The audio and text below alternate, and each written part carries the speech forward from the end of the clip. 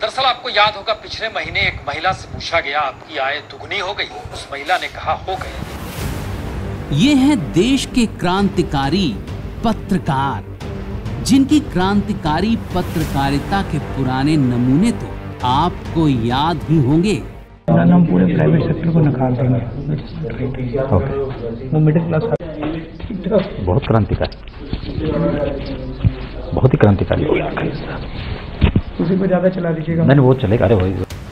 क्रांतिकारी पत्रकार साहब कैसे अपने ही देश के प्रधानमंत्री को बदनाम करने के लिए क्रांतिकारी पत्रकारिता कर रहे हैं? अब जरा उसका नमूना भी देख लीजिए। किसानों से वीडियो कॉन्फ्रेंसिंग के वक्त ये महिला पीएम मोदी को बार बार बता रही थी कि उसकी आय धान की खेती से नहीं बल्कि सीताफल के व्यापार से दोगुनी हुई है।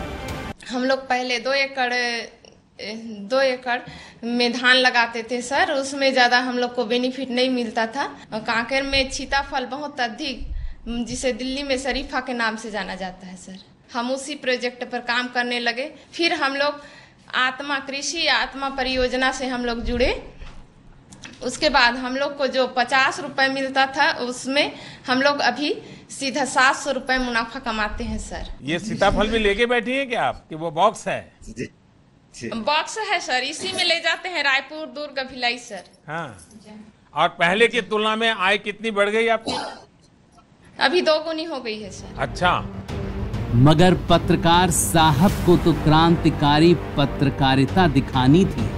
सीताफल को उन्होंने और उनके रिपोर्टर ने गायब कर दिया। और चंद्रमणि से यही कहलवाने की कोशिश करते रहे कि उसकी आय धान से दोगुनी हुई है या नहीं। जो धान की खेती थी दो एकड़ में जो धान की खेती थी दो एकड़ में जो धान की खेती थी दो एकड़ में उससे कमाई दोगुनी हुई क्या?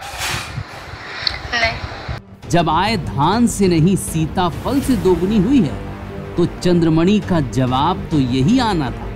लेकिन इस खबर को देखने के बाद चंद्रमणि को क्रांतिकारी पत्रकार साहब की असली मंशा समझ में आ गई और उसने खुद सामने आकर इन क्रांतिकारी पत्रकार साहब की पोल खोल दी। जिनके रिपोर्टर चंद्रमणि के खेत तक तो गए भी नहीं मैंने सीताफल का पल्प निकालते हैं, उससे दो गुनी आय बताई थी उनको। बीपी न्यूज़ वाले आए थे, वो लोग उसमें गलत तरीके से दिखा रहे हैं और खेत वगैरह का जो दिखा रहे हैं, वो हमारा खेत का भी नहीं है और वहाँ खेत में गई नहीं थी। वो लोग आए थे यहाँ पे महिला मंडल में और हमारा इंटरव्यू यहीं पे हुआ था उनका। पर पता नहीं क्या खबर दोगुनी दोगुनी पूरा गलत कर रहे हैं वो लोग, वो गलत तरीके से दिखाया जा रहा है। वाकई क्रांतिकारी पत्रकार साहब, आपकी क्रांतिकारी पत्रकारिता के तो क्या कहने? मोदी विरोधी मुहिम चलाने के लिए इतनी छोटी हरकत पर उतर आए कि अपने ही देश के पीएम को बदनाम करने लगे।